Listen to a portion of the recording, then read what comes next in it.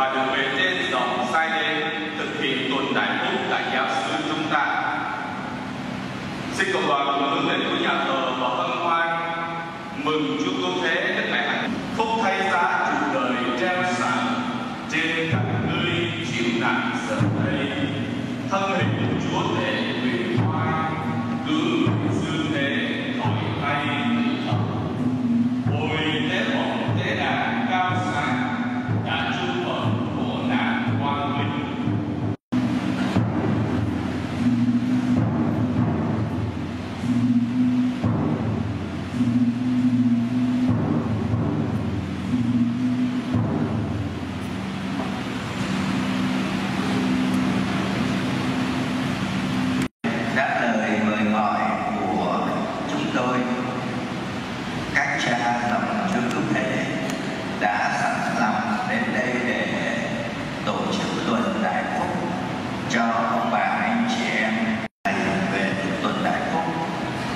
gồm có 21 cha và hai thầy thứ nhất, cha Doa Bautista Hoàng Sô Văn cha Doa Hoàng Lê Quốc thái Vân Anh.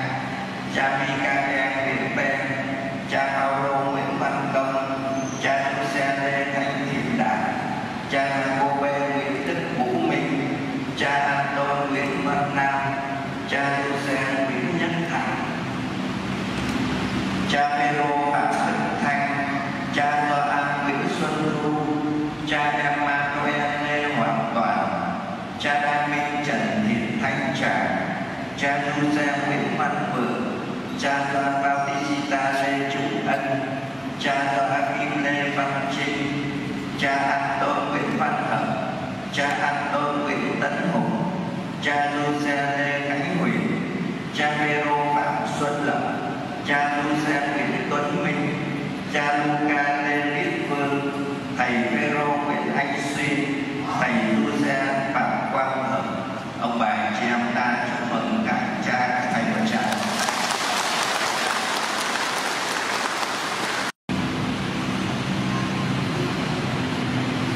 Giờ đây cha mẹ trên đại phúc sẽ thẩm vấn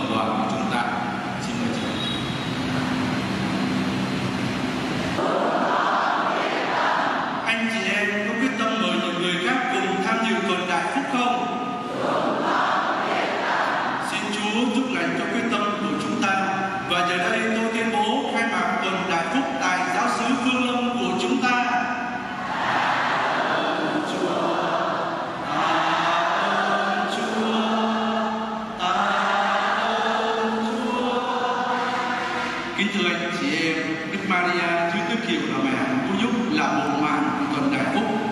Bởi vậy giờ đây chúng ta dâng tuần đại phúc cho mẹ. Xin mẹ truyền cầu để cho mọi người ở trong giáo xứ đón nhận